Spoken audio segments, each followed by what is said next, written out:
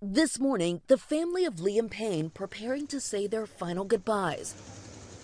Sources in Argentina tell ABC News Liam Payne's body will be given to his family to take to his final resting place in his native England. It comes as fans across the globe remember the entertainer who first captivated audiences with his powerful vocals at the young age of 14 on the X Factor stage.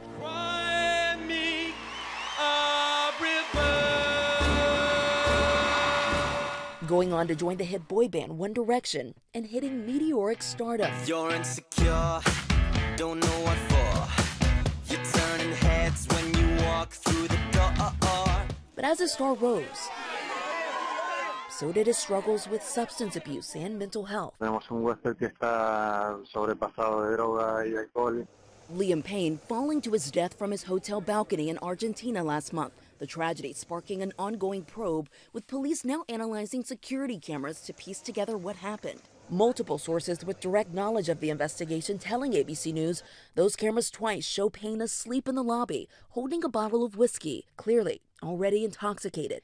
Payne had long been outspoken about his struggles with substance abuse, posting a video in July of 2023 to his YouTube channel saying he was six months sober after receiving treatment. It's good to be in this position, and then yeah, I definitely don't need those things anymore. Party's over. A special edition of 2020 Tonight examining Payne's years long battle with addiction and the pressures of fame. When you think about it, like every generation kind of goes through this. Like they have their their star that, you know, leaves us way too early. Kurt Cobain, you have Chris Farley, Jimi Hendrix, you have Amy Winehouse. It's just sad because you have these fans that they're all left looking for answers that they just may never get.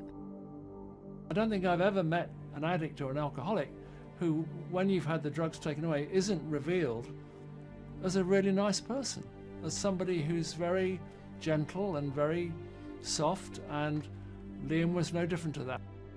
Just fragile and who need a bit of help and support. You and me got a whole lot of history. His legions of fans remembering Liam as a vibrant entertainer and the dad of a young son. His voice forever living on. Seems to me that when I die, these words will be written on my stone.